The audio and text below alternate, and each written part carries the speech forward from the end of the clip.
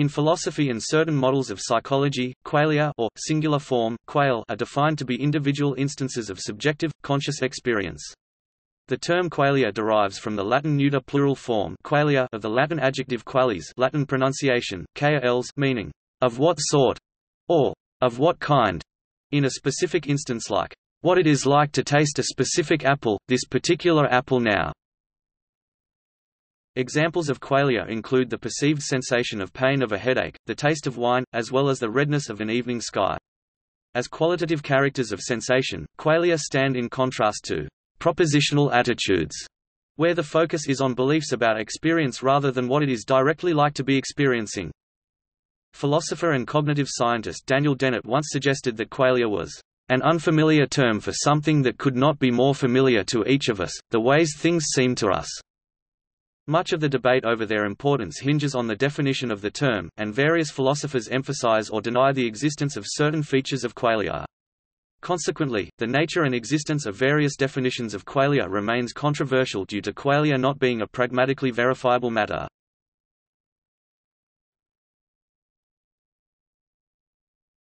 Topic: Definitions. There are many definitions of qualia, which have changed over time. One of the simpler, broader definitions is the what it is like character of mental states. The way it feels to have mental states such as pain, seeing red, smelling a rose, etc. Clarence Irving Lewis, in his book Mind and the World Order 1929, was the first to use the term qualia in its generally agreed upon modern sense. There are recognizable qualitative characters of the given, which may be repeated in different experiences, and are thus a sort of universals. I call these qualia. But although such qualia are universals, in the sense of being recognized from one to another experience, they must be distinguished from the properties of objects.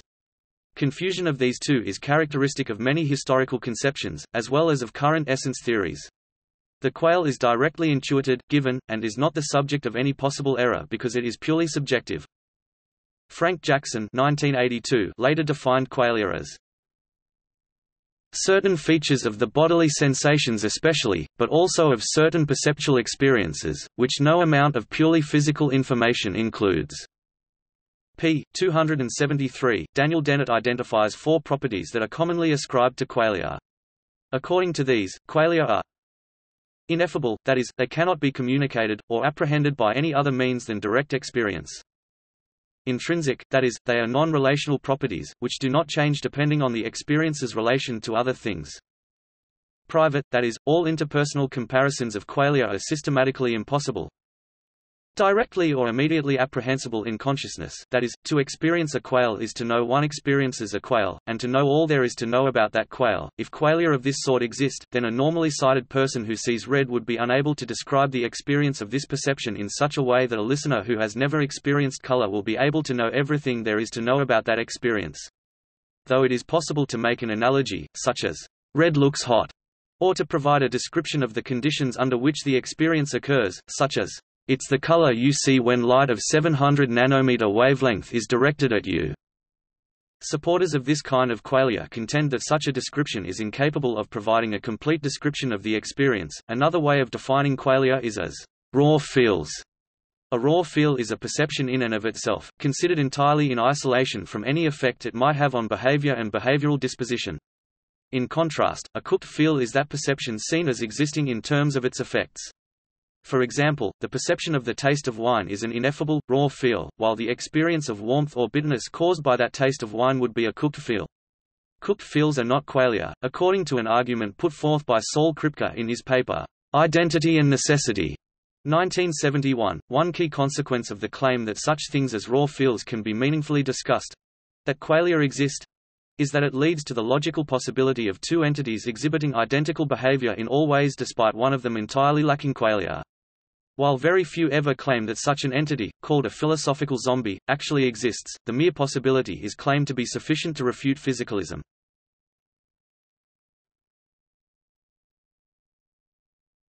Topic: Arguments for the existence. Since it is by definition impossible to convey qualia verbally, it is also impossible to demonstrate them directly in an argument, so a more tangential approach is needed. Arguments for qualia generally come in the form of thought experiments designed to lead one to the conclusion that qualia exist.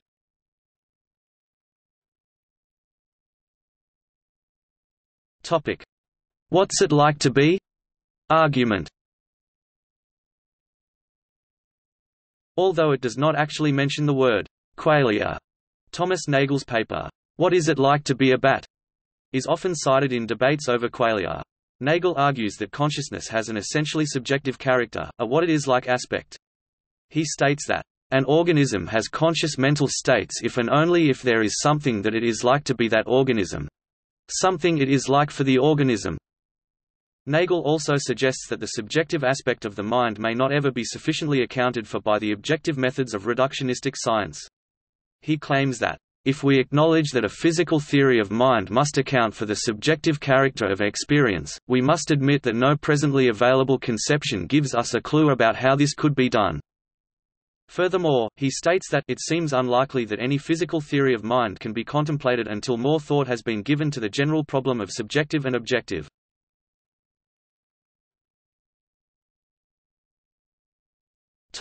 Inverted spectrum argument. The inverted spectrum thought experiment, originally developed by John Locke, invites us to imagine that we wake up one morning and find that for some unknown reason all the colors in the world have been inverted. Furthermore, we discover that no physical changes have occurred in our brains or bodies that would explain this phenomenon.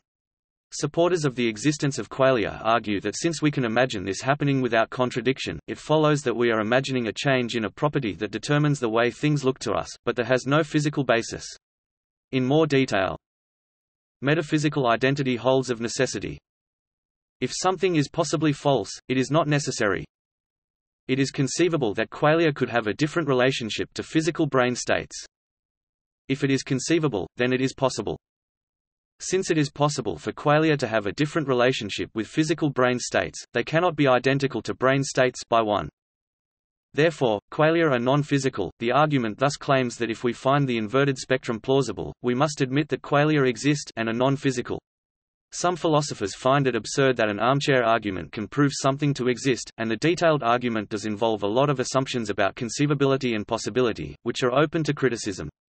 Perhaps it is not possible for a given brain state to produce anything other than a given quale in our universe, and that is all that matters. The idea that an inverted spectrum would be undetectable in practice is also open to criticism on more scientific grounds see main article. There is an actual experiment—albeit somewhat obscure—that parallels the inverted spectrum argument. George M. Stratton, professor of psychology at the University of California, Berkeley, performed an experiment in which he wore special prism glasses that caused the external world to appear upside down.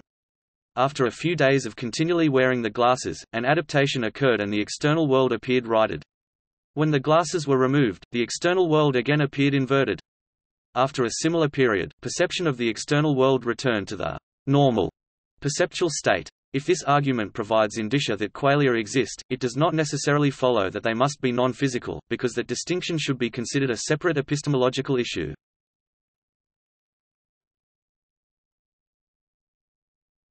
Topic: Zombie argument. A similar argument holds that it is conceivable or not inconceivable that there could be physical duplicates of people, called philosophical zombies, without any qualia at all. These zombies would demonstrate outward behavior precisely similar to that of a normal human, but would not have a subjective phenomenology. It is worth noting that a necessary condition for the possibility of philosophical zombies is that there be no specific part or parts of the brain that directly give rise to qualia. The zombie can only exist if subjective consciousness is causally separate from the physical brain.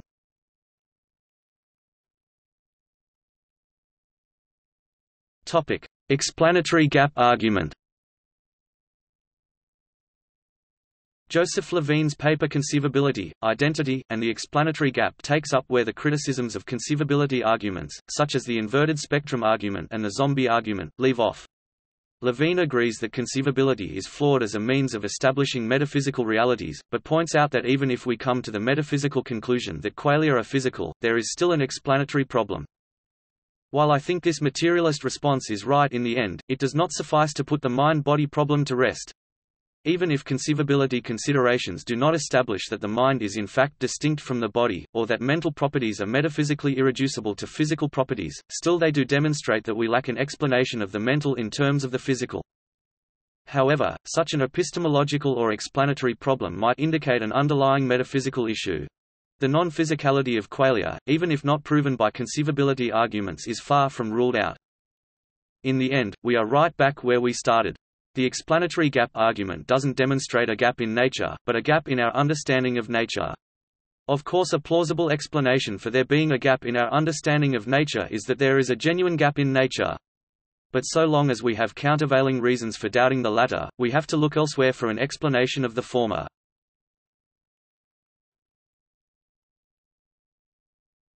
Topic: Knowledge argument. In the article, Epiphenomenal Qualia, 1982, Frank Jackson offers what he calls the knowledge argument for qualia. One example runs as follows. Mary the color scientist knows all the physical facts about color, including every physical fact about the experience of color in other people, from the behavior a particular color is likely to elicit to the specific sequence of neurological firings that register that a color has been seen. However, she has been confined from birth to a room that is black and white, and is only allowed to observe the outside world through a black and white monitor. When she is allowed to leave the room, it must be admitted that she learns something about the color red the first time she sees it. Specifically, she learns what it is like to see the color. This thought experiment has two purposes. First, it is intended to show that qualia exist. If one agrees with the thought experiment, we believe that Mary gains something after she leaves the room, that she acquires knowledge of a particular thing that she did not possess before. That knowledge, Jackson argues, is knowledge of the quale that corresponds to the experience of seeing red, and it must thus be conceded that qualia are real properties, since there is a difference between a person who has access to a particular quale and one who does not. The second purpose of this argument is to refute the physicalist account of the mind. Specifically, the knowledge argument is an attack on the physicalist claim about the completeness of physical truths. The challenge posed to physicalism by the knowledge argument runs as follows. Before her release, Mary was in possession of all the physical information about color experiences of other people. After her release, Mary learns something about the color experiences of other people. Therefore, before her release, Mary was not in possession of all the information about other people's color experiences, even though she was in possession of all the physical information. Therefore, there are truths about other people's color experience that are not physical. Therefore, physicalism is false. First Jackson argued that qualia are epiphenomenal, not causally efficacious with respect to the physical world. Jackson does not give a positive justification for this claim. Rather, he seems to assert it simply because it defends qualia against the classic problem of dualism. Our natural assumption would be that qualia must be causally efficacious in the physical world, but some would ask how we could argue for their existence if they did not affect our brains. If qualia are to be non-physical properties which they must be in order to constitute an argument against physicalism, some argue that it is almost impossible to imagine how they could have a causal effect on the physical world. By redefining qualia as epiphenomenal, Jackson attempts to protect them from the demand of playing a causal role. Later, however, he rejected epiphenomenalism. This, he argues, is because when Mary first sees red, she says, wow. So it must be Mary's qualia that cause her to say, wow. This contradicts epiphenomenalism. Since the Mary's room thought experiment seems to create this contradiction, there must be something wrong with it. This is often referred to as the there must be a reply. Reply.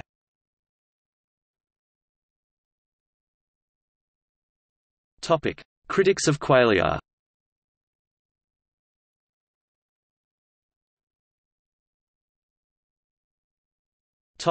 Daniel Dennett.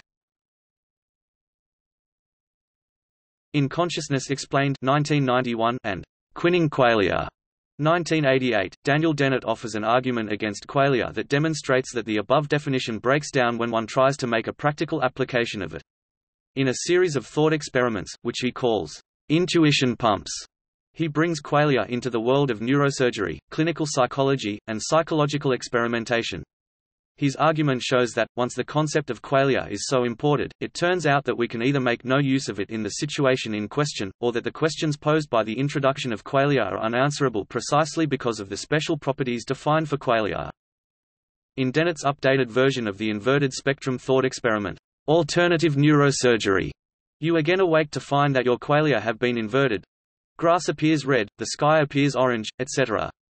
According to the original account, you should be immediately aware that something has gone horribly wrong. Dennett argues, however, that it is impossible to know whether the diabolical neurosurgeons have indeed inverted your qualia by tampering with your optic nerve, say, or have simply inverted your connection to memories of past qualia. Since both operations would produce the same result, you would have no means on your own to tell which operation has actually been conducted, and you are thus in the odd position of not knowing whether there has been a change in your immediately apprehensible qualia. Dennett's argument revolves around the central objection that, for qualia to be taken seriously as a component of experience—for them to even make sense as a discrete concept—it must be possible to show that. It is possible to know that a change in qualia has occurred, as opposed to a change in something else, or that b. There is a difference between having a change in qualia and not having one. Dennett attempts to show that we cannot satisfy a either through introspection or through observation, and that qualia's very definition undermines its chances of satisfying b. Supporters of qualia could point out that in order for you to notice a change in qualia, you must compare your current qualia with your memories of past qualia. Arguably, such a comparison would involve immediate apprehension of your current qualia and your memories of past qualia, but not the past qualia themselves. Furthermore, modern functional brain imaging has increasingly suggested that the memory of an experience is processed in similar ways and in similar zones of the brain as those originally involved in the original perception. This may mean that there would be asymmetry in outcomes between altering the mechanism of perception of qualia and altering their memories. If the diabolical neurosurgery altered the immediate perception of qualia, you might not even notice the inversion directly, since the brain zones which reprocess the memories would themselves invert the qualia remembered.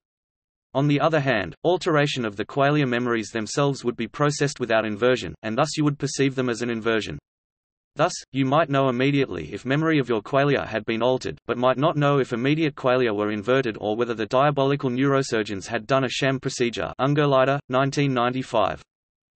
Dennett also has a response to the Mary the color scientist thought experiment. He argues that Mary would not, in fact, learn something new if she stepped out of her black and white room to see the color red.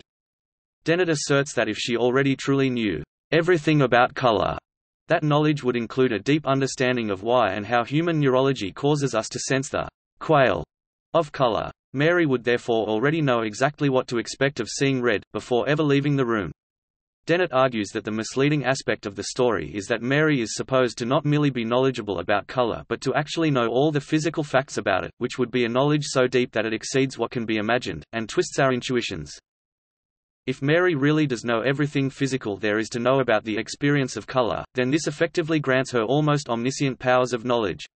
Using this, she will be able to deduce her own reaction, and figure out exactly what the experience of seeing red will feel like.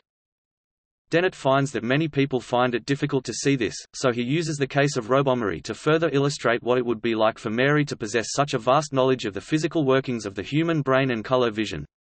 Robomary is an intelligent robot who, instead of the ordinary color camera eyes, has a software lock such that she is only able to perceive black and white and shades in between. Robomary can examine the computer brain of similar non-color locked robots when they look at a red tomato, and see exactly how they react and what kinds of impulses occur. Robomary can also construct a simulation of her own brain, unlock the simulation's color lock and, with reference to the other robots, simulate exactly how this simulation of herself reacts to seeing a red tomato. Robomary naturally has control over all of her internal states except for the color lock. With the knowledge of her simulation's internal states upon seeing a red tomato, Robomary can put her own internal states directly into the states they would be in upon seeing a red tomato. In this way, without ever seeing a red tomato through her cameras, she will know exactly what it is like to see a red tomato. Dennett uses this example to show us that Mary's all-encompassing physical knowledge makes her own internal states as transparent as those of a robot or computer, and it is almost straightforward for her to figure out exactly how it feels to see red. Perhaps Mary's failure to learn exactly what seeing red feels like is simply a failure of language, or a failure of our ability to describe experiences. An alien race with a different method of communication or description might be perfectly able to teach their version of Mary exactly how seeing the color red would feel. Perhaps it is simply a uniquely human failing to communicate first-person experiences from a third-person perspective. Dennett suggests that the description might even be possible using English. He uses a simpler version of the Mary thought experiment to show how this might work. What if Mary was in a room without triangles and was prevented from seeing or making any triangles? An English language description of just a few words would be sufficient for her to imagine what it is like to see a triangle. She can simply and directly visualize a triangle in her mind. Similarly, Dennett proposes, it is perfectly, logically possible that the quale of what it is like to see red could eventually be described in an English language description of millions or billions of words. In Are We Explaining Consciousness Yet? 2001, Dennett approves of an account of qualia defined as the deep, rich collection of individual neural responses that are too fine-grained for language to capture. For instance, a person might have an alarming reaction to yellow because of a yellow car that hit her previously, and someone else might have a nostalgic reaction to a comfort food. These effects are too individual specific to be captured by English words. If one dubs this inevitable residue qualia, then qualia are guaranteed to exist, but they are just more of the same, dispositional properties that have not yet been entered in the catalogue.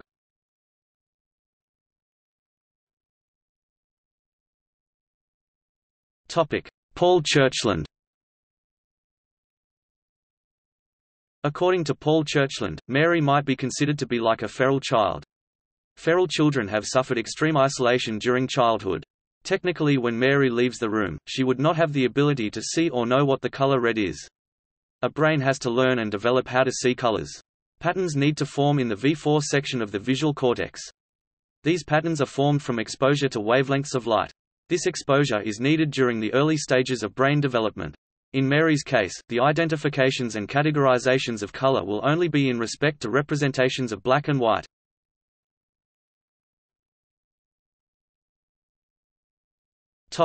Gary Drescher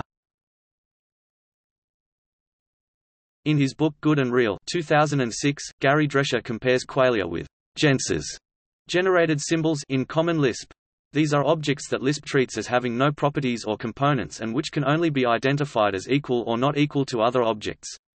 Drescher explains, "...we have no introspective access to whatever internal properties make the red gensym recognizably distinct from the green, even though we know the sensation when we experience it.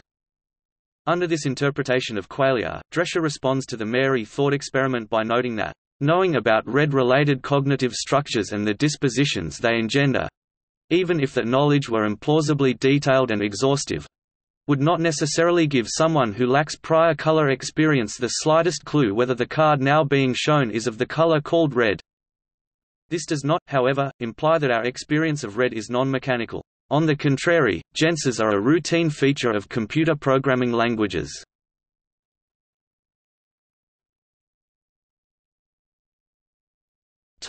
David Lewis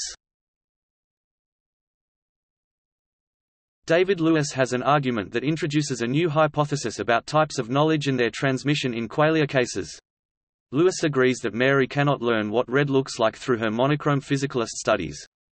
But he proposes that this doesn't matter. Learning transmits information, but experiencing qualia doesn't transmit information, instead it communicates abilities. When Mary sees red, she doesn't get any new information. She gains new abilities. Now she can remember what red looks like, imagine what other red things might look like and recognize further instances of redness. Lewis states that Jackson's thought experiment uses the phenomenal information hypothesis. That is, the new knowledge that Mary gains upon seeing red is phenomenal information. Lewis then proposes a different ability hypothesis that differentiates between two types of knowledge, knowledge that information and knowledge how abilities.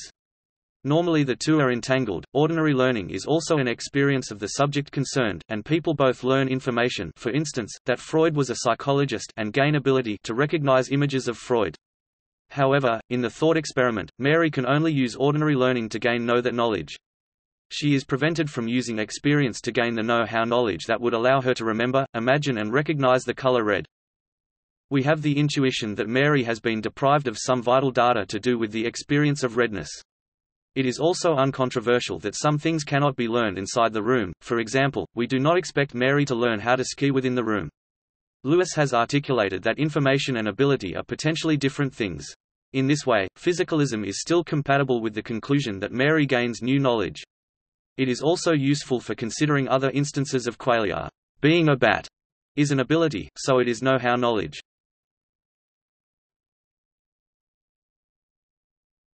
Topic: Marvin Minsky. The artificial intelligence researcher Marvin Minsky thinks the problems posed by qualia are essentially issues of complexity, or rather of mistaking complexity for simplicity. Now, a philosophical dualist might then complain, "'You've described how hurting affects your mind. But you still can't express how hurting feels." This, I maintain, is a huge mistake. That attempt to reify feeling as an independent entity, with an essence that's indescribable. As I see it, feelings are not strange alien things. It is precisely those cognitive changes themselves that constitute what hurting is, and this also includes all those clumsy attempts to represent and summarize those changes. The big mistake comes from looking for some single, simple essence of hurting, rather than recognizing that this is the word we use for complex rearrangement of our disposition of resources.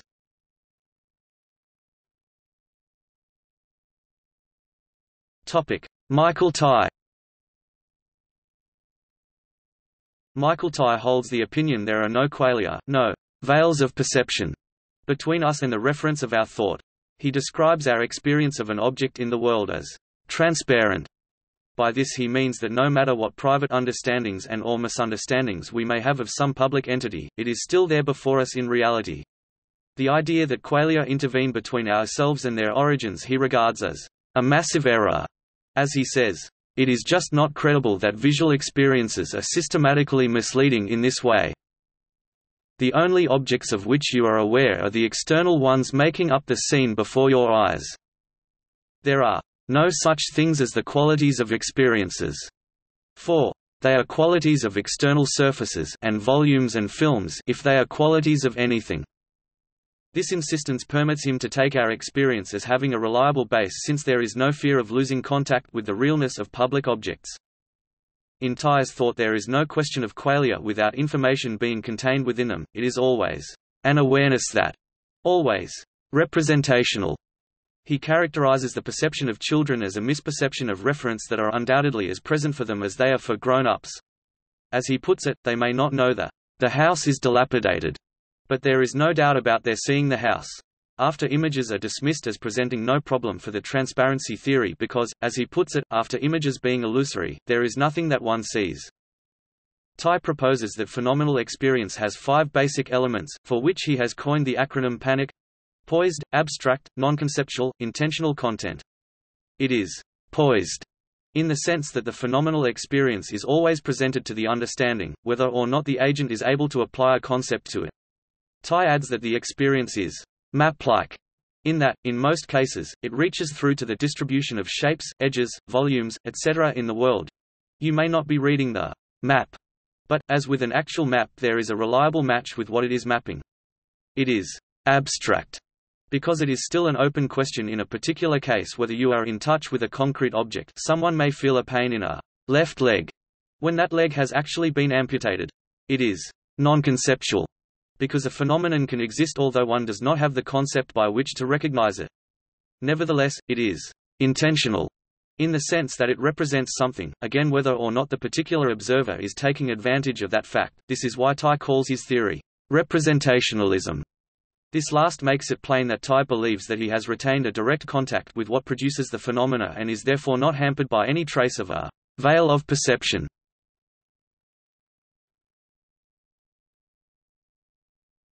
Topic: Proponents of qualia.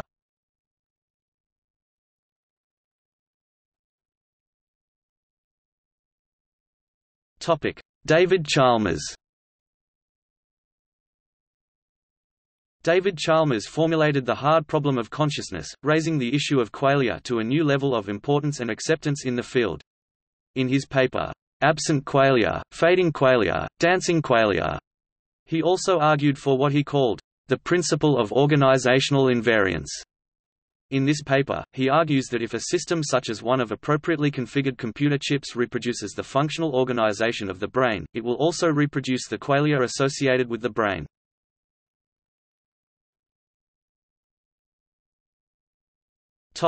E. J. Lowe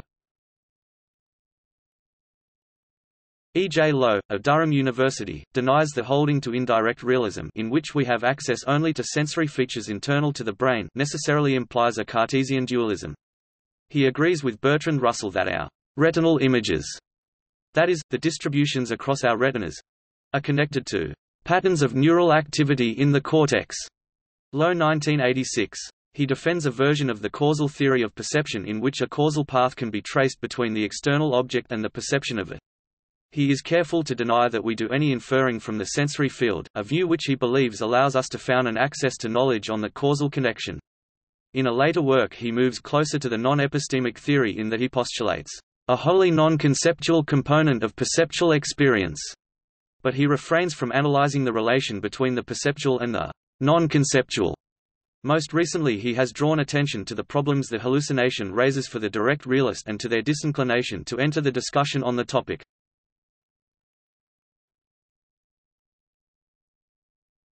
Topic: J. B. Maund. John Barry Maund, an Australian philosopher of perception at the University of Western Australia, draws attention to a key distinction of qualia. Qualia are open to being described on two levels, a fact that he refers to as dual coding. Using the television analogy which, as the non-epistemic argument shows, can be shorn of its objectionable aspects, he points out that, if asked what we see on a television screen there are two answers that we might give. The states of the screen during a football match are unquestionably different from those of the screen during a chess game, but there is no way available to us of describing the ways in which they are different except by reference to the play, moves and pieces in each game. He has refined the explanation by shifting to the example of a MOVA-type screen, often used for advertisements and announcements in public places. A MOVA-type screen consists of a matrix or raster, as the neuroscientists prefer to call it from the Latin rastrum, a rake Think of the lines on a TV screen as raked across that is made up of an array of tiny light sources. A computer-led input can excite these lights so as to give the impression of letters passing from right to left, or even, on the more advanced forms now commonly used in advertisements, to show moving pictures. Maund's point is as follows. It is obvious that there are two ways of describing what you are seeing. We could either adopt the everyday public language and say, I saw some sentences, followed by a picture of a 7-Up can. Although that is a perfectly adequate way of describing the sight, nevertheless, there is a scientific way of describing it which bears no relation whatsoever to this common-sense description. One could ask the electronics engineer to provide us with a computer printout staged across the seconds that you were watching it of the point states of the raster of lights. This would no doubt be a long and complex document, with the state of each tiny light source given its place in the sequence. The interesting aspect of this list is that, although it would give a comprehensive and point-by-point -point detailed description of the state of the screen, nowhere in that list would there be a mention of English sentences or a 7-Up can. What this makes clear is that there are two ways to describe such a screen, one the common sense one, in which publicly recognizable objects are mentioned, and two, an accurate point-by-point -point account of the actual state of the field, but makes no mention of what any passerby would or would not make of it. This second description would be non-epistemic from the common sense point of view, since no objects are mentioned in the printout, but perfectly acceptable from the engineer's point of view. Note that, if one carries this analysis across to human sensing and perceiving, this rules out Daniel Dennett's claim that all qualiophiles must regard qualia as ineffable, for at this second level they are in principle quite effable. Indeed, it is not ruled out that some neurophysiologist of the future might be able to describe the neural detail of qualia at this level. Maund has also extended his argument particularly with reference of color.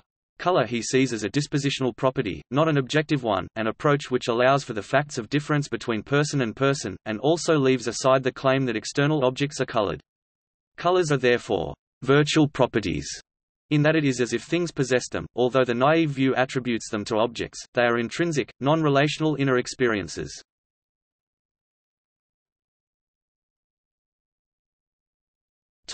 Moreland Perkins. In his book Sensing the World, Moreland Perkins argues that qualia need not be identified with their objective sources. A smell, for instance, bears no direct resemblance to the molecular shape that gives rise to it, nor is a toothache actually in the tooth. He is also like Hobbes in being able to view the process of sensing as being something complete in itself. As he puts it, it is not like kicking a football, where an external object is required. It is more like kicking a kick, an explanation which entirely avoids the familiar homunculus objection, as adhered to, for example, by Gilbert Ryle. Ryle was quite unable even to entertain this possibility, protesting that, in effect it explained the having of sensations as the not having of sensations. However, A.J. Ayer in a rejoinder identified this objection as very weak, as it betrayed an inability to detach the notion of eyes, indeed any sensory organ, from the neural sensory experience.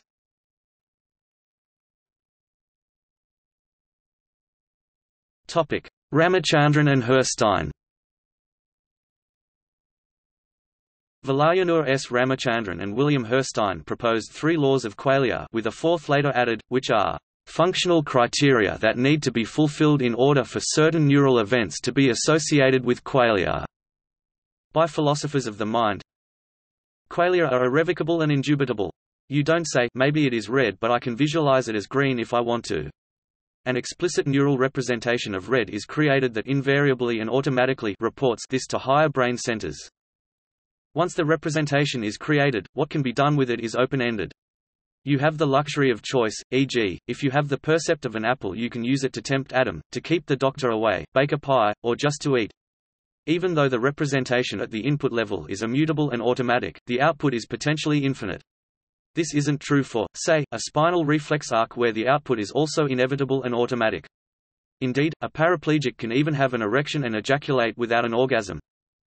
Short-term memory. The input invariably creates a representation that persists in short-term memory, long enough to allow time for choice of output. Without this component, again, you get just a reflex arc. Attention. Qualia and attention are closely linked. You need attention to fulfill criterion number two, to choose. A study of circuits involved in attention, therefore, will shed much light on the riddle of qualia. They proposed that the phenomenal nature of qualia could be communicated as in, oh that is what salt tastes like, if brains could be appropriately connected with a cable of neurons. If this turned out to be possible this would scientifically prove or objectively demonstrate the existence and the nature of qualia.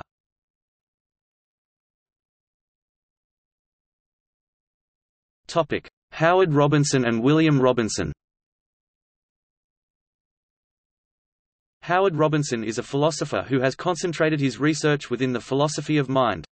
Taking what has been through the latter part of the last century an unfashionable stance, he has consistently argued against those explanations of sensory experience that would reduce them to physical origins. He has never regarded the theory of sense data as refuted, but has set out to refute in turn the objections which so many have considered to be conclusive. The version of the theory of sense data he defends takes what is before consciousness in perception to be qualia as mental presentations that are causally linked to external entities, but which are not physical in themselves. Unlike the philosophers so far mentioned, he is therefore a dualist, one who takes both matter and mind to have real and metaphysically distinct natures. His books particularly Matter and Sense and Perception are characterized by the thoroughness with which he deals with the arguments of opposing philosophers, thus setting a professional example that it would be well for his opponents to follow for there has been a tendency to take for granted that the theory of sense data is wholly obsolescent. In one of his most recent articles he takes the physicalist to task for ignoring the fact that sensory experience can be entirely free of representational character. He cites phosphenes as a stubborn example phosphenes are flashes of neural light that result either from sudden pressure in the brain, as induced, for example, by intense coughing, or through direct physical pressure on the retina, and points out that it is grossly counter-intuitive to argue that these are not visual experiences on a par with open-eye seeing. William Robinson no relation takes a very similar view to that of his namesake. In his most recent book, Understanding Phenomenal Consciousness, he is unusual as a dualist in calling for research programs that investigate the relation of qualia to the brain. The problem is so stubborn, he says, that too many philosophers would prefer to explain it away, but he would rather have it explained and does not see why the effort should not be made. However, he does not expect there to be a straightforward scientific reduction of phenomenal experience to neural architecture, on the contrary he regards this as a forlorn hope. Qualitative event realism that Robinson espouses sees phenomenal consciousness as caused by brain events but not identical with them, being non-material events. It is noteworthy that he refuses to set aside the vividness—and commonness of mental images, both visual and aural, standing here in direct opposition to Daniel Dennett, who has difficulty in crediting the experience in others. He is similar to Moreland Perkins in keeping his investigation wide enough to apply to all the senses.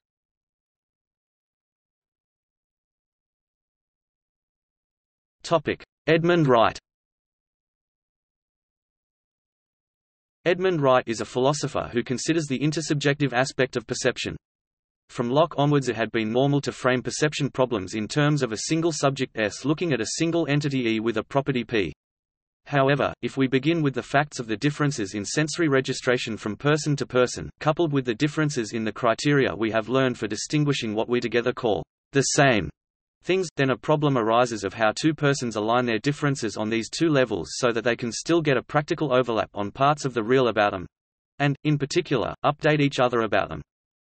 Wright mentions being struck with the hearing difference between himself and his son, discovering that his son could hear sounds up to nearly 20 kHz while his range only reached to 14 kHz or so. This implies that a difference in qualia could emerge in human action for example, the son could warn the father of a high-pitched escape of a dangerous gas kept under pressure, the sound waves of which would be producing no qualia evidence at all for the father. The relevance for language thus becomes critical, for an informative statement can best be understood as an updating of a perception, and this may involve a radical reselection from the qualia fields viewed as non-epistemic, even perhaps of the presumed singularity of the referent, a fortiori if that referent is the self. Here he distinguishes his view from that of Revonsuo, who too readily makes his virtual space egocentric. Wright's particular emphasis has been on what he asserts is a core feature of communication, that, in order for an updating to be set up and made possible, both speaker and hearer have to behave as if they have identified the same singular thing, which, he notes, partakes of the structure of a joke or a story. Wright says that this systematic ambiguity seems to opponents of qualia to be a sign of fallacy in the argument as ambiguity is in pure logic whereas, on the contrary, it is sign—in talk about what is perceived as something those speaking to each other have to learn to take advantage of. In extending this analysis, he has been led to argue for an important feature of human communication being the degree and character of the faith maintained by the participants in the dialogue, a faith that has priority over what has before been taken to be the key virtues of language, such as sincerity, truth, and objectivity. Indeed, he considers that to prioritize them over faith is to move into superstition.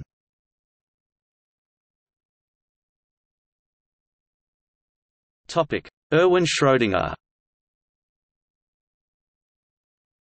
Erwin Schrödinger, a theoretical physicist and one of the leading pioneers of quantum mechanics, also published in the areas of colorimetry and color perception. In several of his philosophical writings, he defends the notion that qualia are not physical. The sensation of color cannot be accounted for by the physicist's objective picture of light waves. Could the physiologist account for it, if he had fuller knowledge than he has of the processes in the retina and the nervous processes set up by them in the optical nerve bundles and in the brain? I do not think so. He continues on to remark that subjective experiences do not form a one-to-one -one correspondence with stimuli.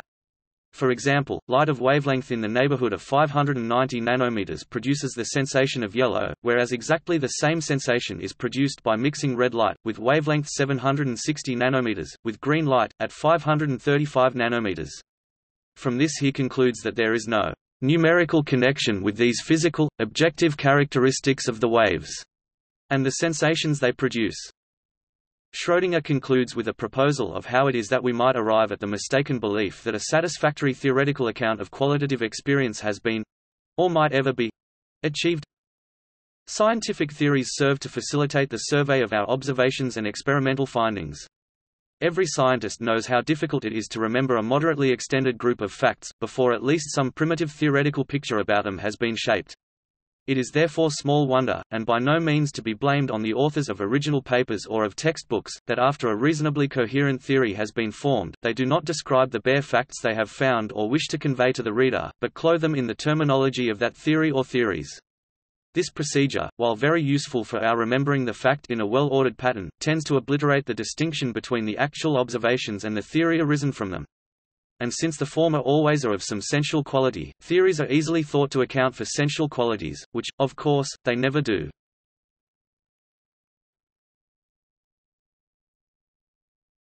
Topic: Neurobiological blending of perspectives.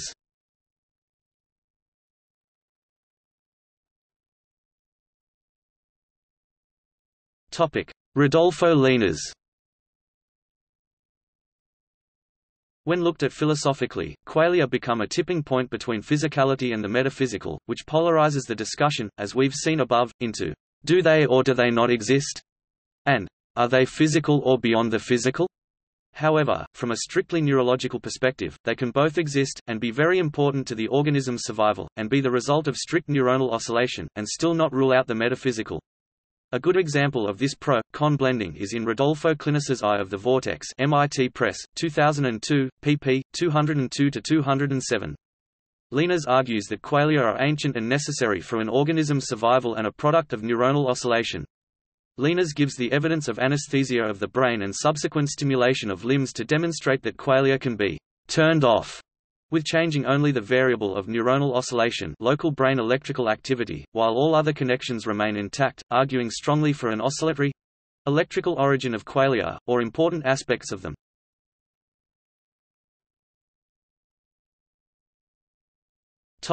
Roger Orpwood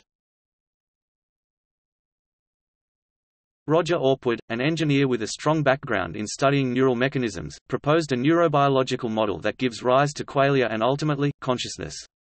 As advancements in cognitive and computational neuroscience continue to grow, the need to study the mind, and qualia, from a scientific perspective follows. Orpwood does not deny the existence of qualia, nor does he intend to debate its physical or non-physical existence. Rather, he suggests that qualia are created through the neurobiological mechanism of reentrant feedback in cortical systems Orpwood develops his mechanism by first addressing the issue of information. One unsolved aspect of qualia is the concept of the fundamental information involved in creating the experience. He does not address a position on the metaphysics of the information underlying the experience of qualia, nor does he state what information actually is. However, Orpwood does suggest that information in general is of two types, the information structure and information message. Information structures are defined by the physical vehicles and structural, biological patterns encoding information. That encoded information is the information message, a source describing what that information is. The neural mechanism or network receives input information structures, completes a designated instructional task firing of the neuron or network, and outputs a modified information structure to downstream regions. The information message is the purpose and meaning of the information structure and causally exists as a result of that particular information structure. Modification of the information structure changes the meaning of the information message, but the message itself cannot be directly altered. Local cortical networks have the capacity to receive feedback from their own output information structures. This form of local feedback continuously cycles part of the network's output structures as its next input information structure. Since the output structure must represent the information message derived from the input structure, each consecutive cycle that is fed back will represent the output structure the network just generated. As the network of mechanisms cannot recognize the information message, but only the input information structure, the network is unaware that it is representing its own previous outputs. The neural mechanisms are merely completing their instructional tasks and outputting any recognizable information structures. Orpwood proposes that these local networks come into an attractor state that consistently outputs exactly the same information structure as the input structure. Instead of only representing the information message derived from the input structure, the network will now represent its own output and thereby its own information message. As the input structures are fed back, the network identifies the previous information structure as being a previous representation of the information message. As Orpwood states, once an attractor state has been established, the output of a network is a representation of its own identity to the network. Representation of the network's own output structures, by which represents its own information message, is Orpwood's explanation that grounds the manifestation of qualia via neurobiological mechanisms. These mechanisms are particular to networks of pyramidal neurons.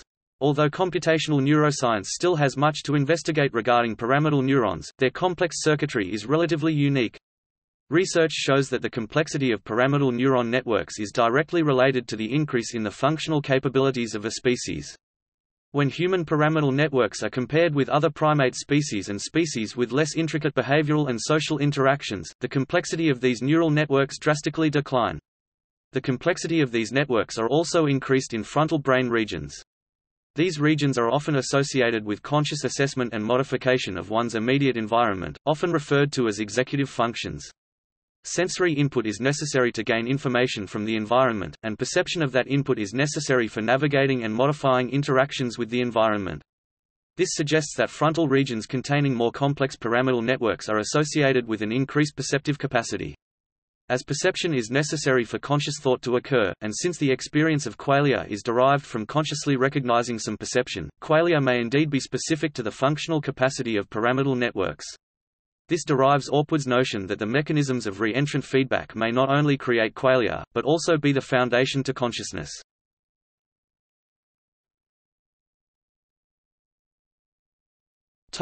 Other issues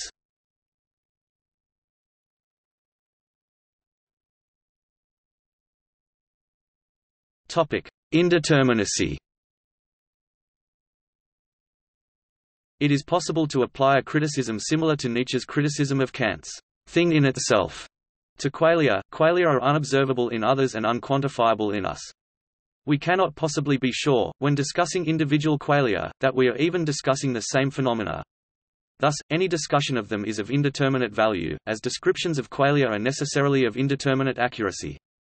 Qualia can be compared to things in themselves, in that they have no publicly demonstrable properties. This, along with the impossibility of being sure that we are communicating about the same qualia, makes them of indeterminate value and definition in any philosophy in which proof relies upon precise definition.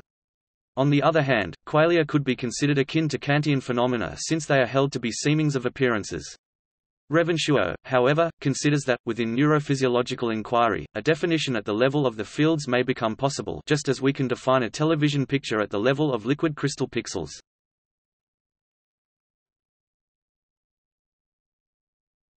Topic: Causal efficacy.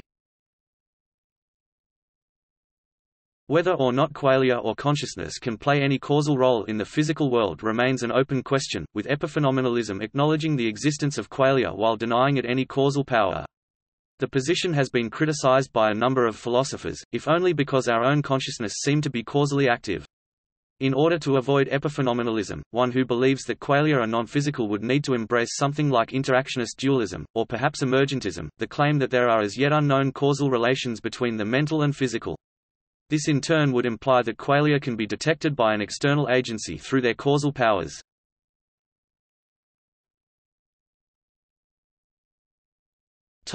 Epistemological issues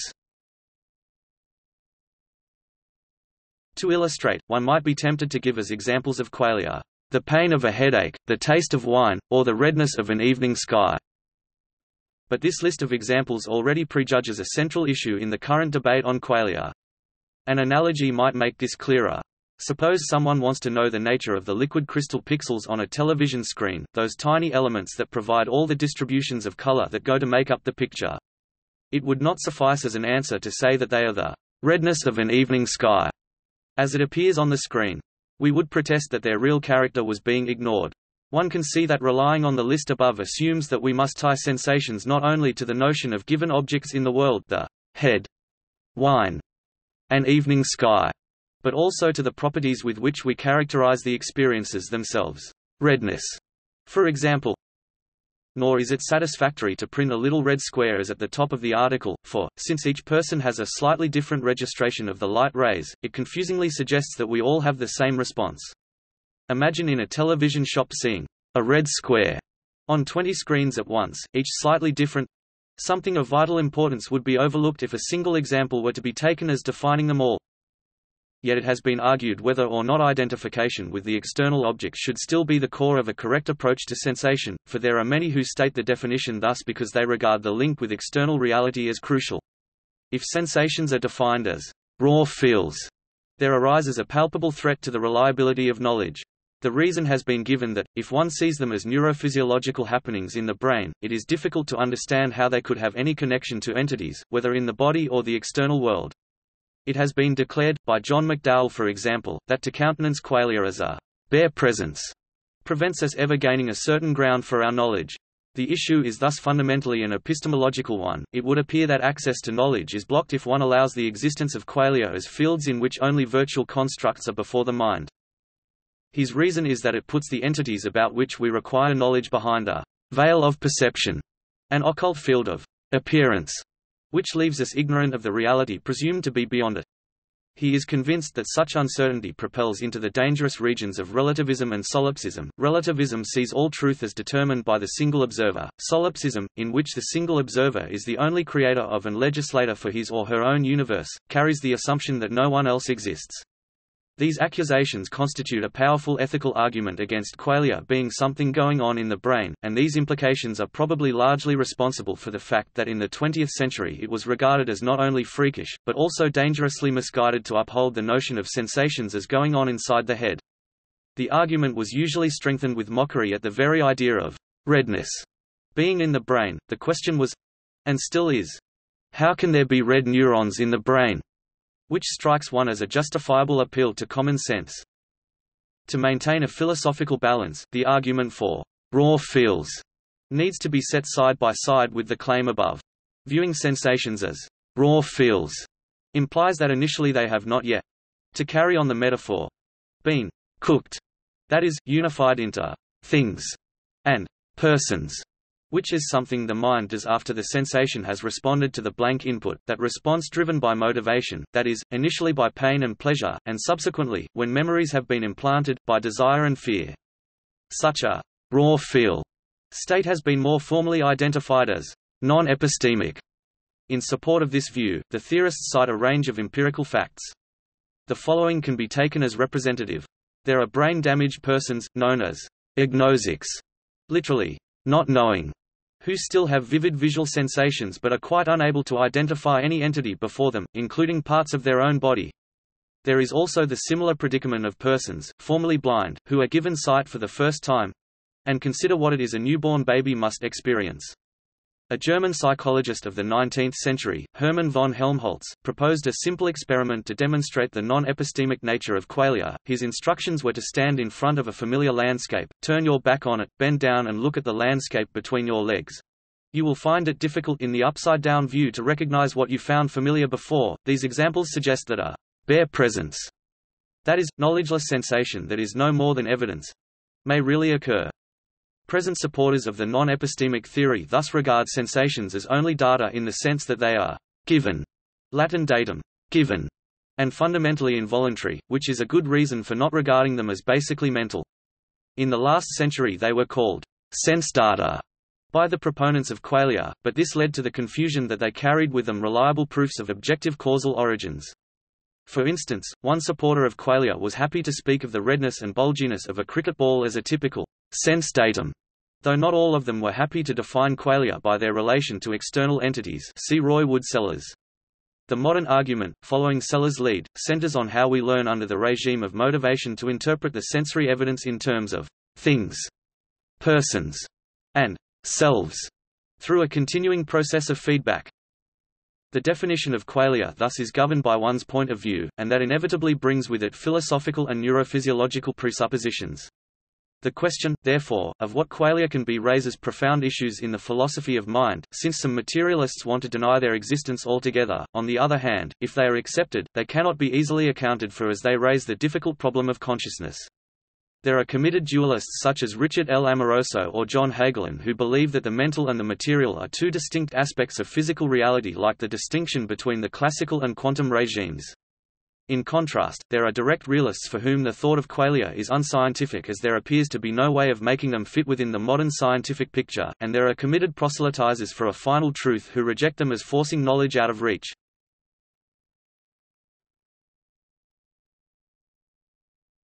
Topic. See also Notes